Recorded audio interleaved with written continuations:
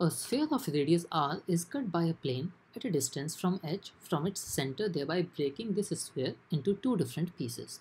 So let me quickly depict what exactly is happening. We have a sphere here and at a distance of h from its center there is a plane that is cutting this sphere and now finally we are getting two such pieces. So that we have these two such pieces now the question says if the cumulative surface area of these two pieces is 25% more than that of the sphere, what is the value of h?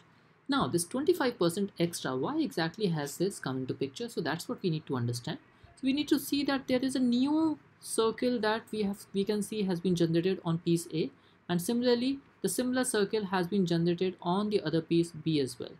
That means the increased area is equal to 2 new circles. But now the question is how to find out the area of these circles and for that we need to know the radius.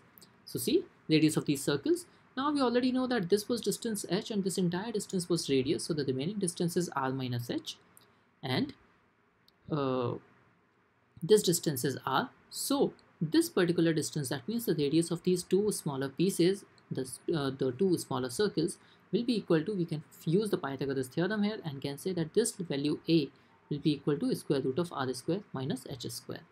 So here the area of these two circles will be 2 times pi square root of r square minus h square and the square of it. And this increased area is equal to 25% of the area of sphere. So let's quickly calculate that.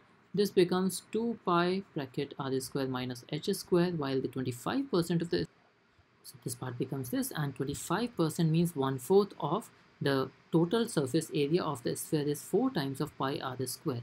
So now we need to simplify this. 4 can be cancelled out here, pi gets cancelled out here. So we understand that twice of r square minus twice of h square is equal to r square which gives us twice of h square is equal to uh, r square that means h square is equal to r square divided by 2 so h becomes equal to r divided by square root of 2 so here we have the value of h in terms of r and we can see that a option is giving us exactly what we want so that becomes our answer.